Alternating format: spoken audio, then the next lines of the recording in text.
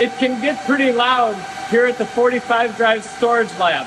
They had things like this barebones three node Ceph cluster running tests, and they had a neat display set up with all their OG Storinators, the models they originally made for Backblaze. Then further down the line, we got a sneak peek at the prototype HL15 Home Lab server, which uses a custom power distribution block off a normal consumer power supply. I also found this cute little Raspberry Pi powered Storinator Junior, which I love, and a smattering of backplane designs over the years. You might not realize it, but designing these PCBs is actually really hard with the speed of NVMe drives these days. Even the little clock traces on the back have to be routed just so, or some drives will error out. They also have a bunch of 3D printers and, like any good lab, an electronics rework station. The rack room was surprisingly not deafening and nice and clean, and after seeing their test flash drives, I got to witness the sound of an all new, all flash Stornado.